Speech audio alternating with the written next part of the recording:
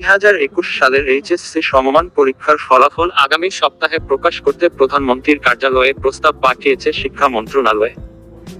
সম্প্রতি ফলাফল প্রকাশের প্রস্তুতি নিতে ঢাকা শিক্ষা বোর্ড, মাধ্যমিক ও উচ্চ শিক্ষা অধিদপ্তর ও শিক্ষা মন্ত্রণালয়ের সমন্বয়ে বৈঠক হয়েছে। বৈঠকে সূত্রে জানা গেছে, চলতি মাসের ফেব্রুয়ারি বারো থেকে চোদ্দ তারিখের মধ্যে এইচএসসির ফল প্রকাশ করতে প্রস্তাব করেছে শিক্ষা মন্ত্রণালয়।